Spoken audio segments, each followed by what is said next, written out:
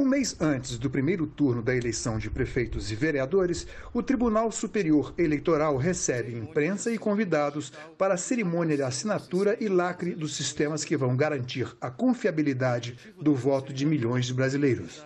Este ano, por causa da pandemia do coronavírus, o TSE implantou um protocolo de segurança sanitária amplamente divulgado em todos os municípios do país.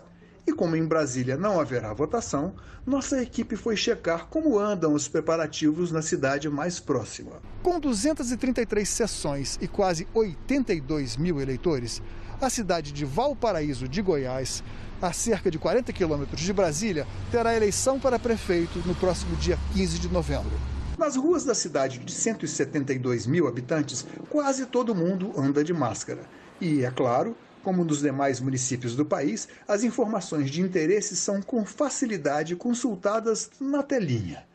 E se a palavra de ordem é evitar aglomerações e manter o distanciamento social, o TSE disponibilizou no site do tribunal e no YouTube vídeos com todas as informações úteis para os eleitores e quem vai trabalhar na votação. No cartório eleitoral de Valparaíso, o material impresso, a sinalização de distanciamento, máscaras e protetores faciais para os mesários, álcool gel e álcool líquido para higienização já chegaram e estão prontos para distribuição.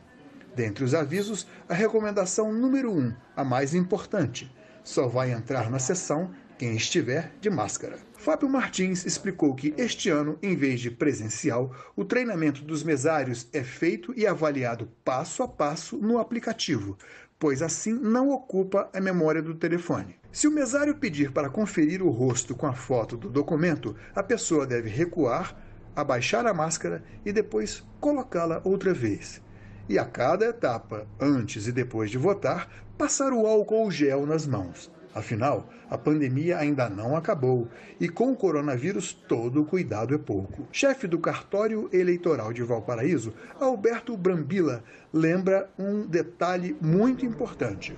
Esse ano nós não vamos utilizar a biometria em razão da pandemia, porque com a biometria, com a coleta da digital, pode disseminar mais o vírus, né? Então orientamos ao eleitor também para não ter contato com outro material, levar sua própria caneta para a sessão eleitoral para assinar o caderno de votação com sua própria caneta, evitando assim o contágio com outros materiais externos.